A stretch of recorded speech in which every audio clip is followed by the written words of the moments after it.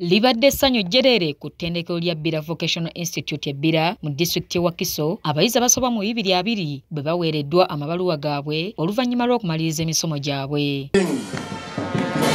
The relevant certificates today followed by amatikkira gano ag'omulundi ogw'omusanvu geetabiddwako abagenyi ab'enjawulo okuli ssaabalabirizi w'ekkanisa ya uganda the right reverend dr stephen samuel kazimba mugalu ssaabalabirizi eyawummula the right reverend stanley ntagali dr james musenguzi galuga ko n'abagenyi abalala. Wakati ku mukolo guno abayizi boolesezza ebitone eby'enjawulo omuli okuyimba okuzina wamu n'ebirala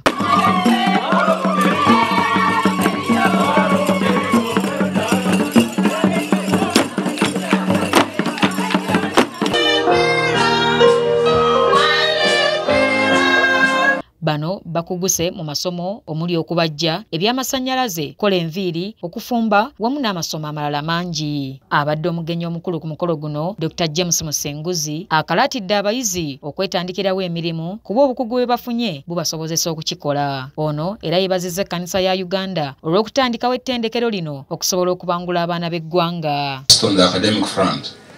But play your part in helping in helping communities improve their quality of life.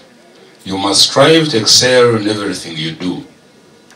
Excellence in every task, large or small. mubaka wa ssaabalabirizi dr samuel stephen kazimba mugalu akubiriza abayizi okubeera abeesigwa mu mirimu gyabwe wamu n'okukola nga tebeebalirira and gain more expertise. Do not sit back. Trust God to give you more wisdom and understanding on how to use your skills to serve Him. kazimba era asabye abatikkiddwa okwekwasa katonda abawa obuvumu okusobola okussa ebyo bye bakuguse mu nkola nga ku mukolo gwe gumu atemye evvuunike ly'ekizimbe ekigenda okuzimbibwa nga kyakubbulwamu amannya ga kazimba mugalu building era ono yeebazizza bonna abaleese ekirowoozo kino for the exceptional work done at this Church of Uganda Vocation College. nevuunika eritemeddwa eryokuzimba gye bayise kazimba block neba administration block. Era omugenyi omukulu yawumya omutwe ensonga eno atuwadde miliyoni abiri naye ngaeyo ntandikwa. Agambye agenda kuyita fundraising sinziggu uh, kafungula nkete. Egenda okulabika nti okumaliriza ekizimbe ekyo. Muwagire abaana okusoma ebyemikono.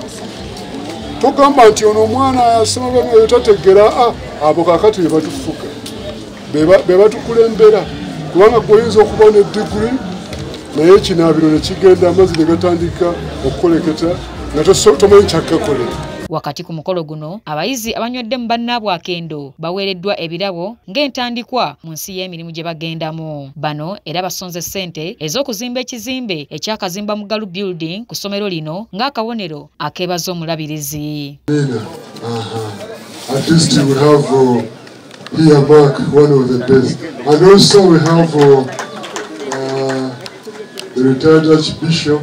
Florence Nabale, Tony Mayanja, Delta TV, Amasukulumu.